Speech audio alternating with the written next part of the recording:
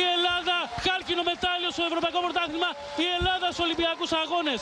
Παρίσι σου ερχόμαστε. Η Ελλάδα είναι εκεί. Τα κορίτσια που έλεψαν σήμερα εδώ πάνε εκεί που τους αξίζει. Πάνε στην πόλη του φωτός. Η αναμονή 16 χρόνων έφτασε στο τέλος της. Η εθνική ομάδα πόλο γυναικών, η ασημένια Ολυμπιονίκης Αθήνας και πρωταθλήτρια κόσμου το 2011, επιστρέφει σε Ολυμπιακούς Αγώνες μετά το 2008 και το Πεκίνο. Το αντιπροσωπευτικό μας συγκρότημα νίκησε με 7-6 στην Ιταλία στο μικρό τελικό του Αιτχόφεν και παράλληλα με το πρώτο χάλκινο σε ευρωπαϊκό, εξασφάλισε το πολυπόθητο εισιτήριο για το Παρίσι. Για τα δύο μέτρα. Γίνεται το σουτ γκολ από την Ελευθεριάδου. Το χρυσό γκολ της Νικόλα Ελευθεριάδου χάρισε τη νίκη στην εθνική μας που επιστρέφει στη γιορτή του αθλητισμού μετά από 16 χρόνια. Είναι ένα όνειρο πραγματικά και είμαι ευγνώμων που θα το ζήσω με αυτά τα, τα κορίτσια, με αυτό το προπονητικό team. Ε, είναι δουλειά χρόνων και πραγματικά δεν έχω λόγια, αλήθεια, συγγνώμη.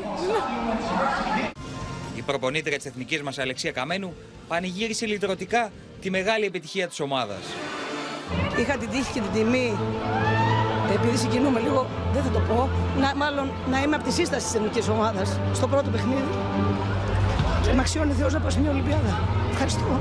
Η Αλεξάνδρα Σιμάκη είναι η μόνη παίκτρια του τωρινού ρόστερ που έχει ζήσει την εμπειρία των Ολυμπιακών Αγώνων αφού ήταν παρούσα το 2008 στο Πεκίνο. Επέστρεψε φέτος στην εθνική μετά από 4,5 χρόνια. Αφού πρώτα είχε σταματήσει από την ενεργό δράση, έγινε μητέρα, πέρασε ένα δύσκολο χειρουργείο και επανήλθε στις πισίνες πιο πολύ για να κάνει αυτό που αγαπάει. Νιώθω τόσο περήφανη. Ειλικρινά, που είμαι μέρος αυτής της εθνικής ομάδας, αυτής της προσπάθειας. Που μετά από 12 χρόνια έφερε την Ελλάδα μας ξανά στους Ολυμπιακούς Αγώνες και δίνει λύτρωση σε τόσες γενιές.